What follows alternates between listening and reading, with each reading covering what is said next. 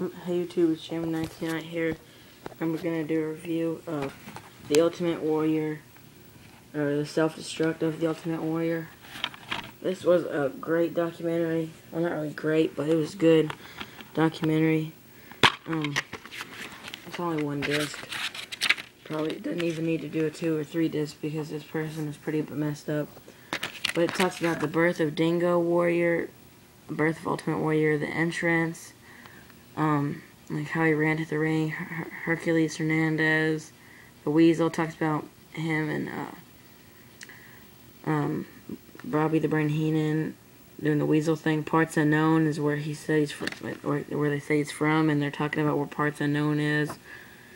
Him winning the Intercontinental title, Ultimate Warrior stock rise. I don't remember what that is. Unique interviews by him being all weird, and most of the time you couldn't understand them. Him fighting Rick Rude, Andre the Giant, Hulk Hogan. Like they said that um, Ultimate Warrior is the first guy to slam uh, Andre the Giant or something like that. WrestleMania 6 where he beat Hulk Hogan and Hogan passed the torch.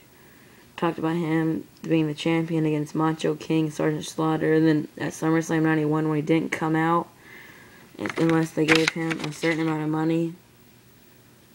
Like he's like I said, I wouldn't come out unless they gave me X amount of dollars and then it talked about second chance him coming back.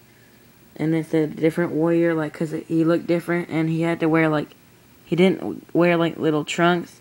I mean, he had to wear like pants because he lost weight and he didn't really have the muscles anymore. Then ultimate warrior's second return when he came back in like 1996 or something like that.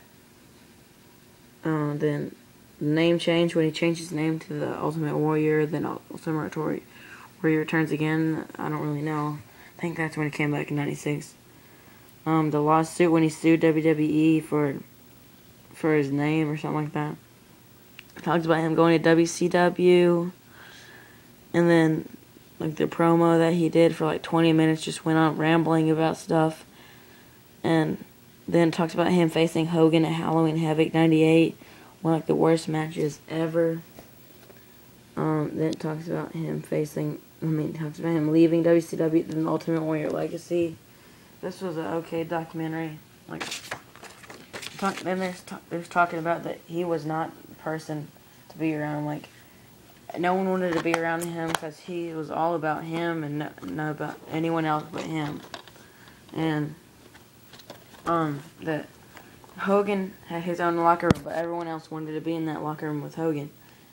Ultimate Warrior had his own locker room as well, but no one wanted to be in his locker room, and he had he like traveled by himself, had his own locker room, went in hotels by, with him like with himself.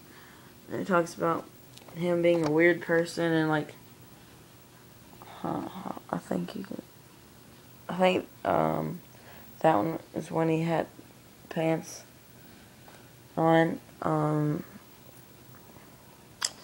I don't really see a picture of him wearing the pants, but yeah, I don't see one. Um, but this was okay. You guys should go get this if you can get it on a good price. I'll give it a 6.5, 7, 7 out of 10. And that's about it. Don't forget to comment, rate, subscribe. Bye.